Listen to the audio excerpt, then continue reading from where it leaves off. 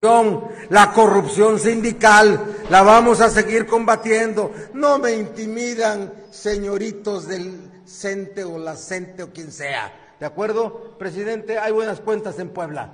Bienvenido al lugar que es Puebla, que es el lugar de tierra obradorista, presidente. Gracias, mixtecos. Gracias. Aquí estamos unidos. Unidos. Gracias.